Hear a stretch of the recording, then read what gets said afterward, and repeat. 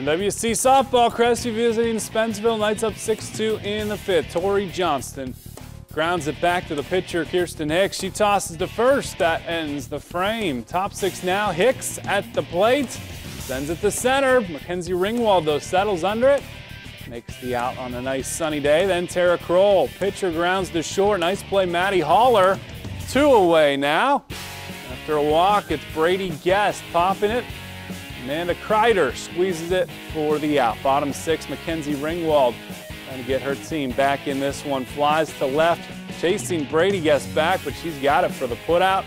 Then Caitlin Probst pops one in front of home plate. Mackenzie Riggenbaugh makes the snag. Dust in her eyes. She's just fine. Crestview victorious 8 2 on the road.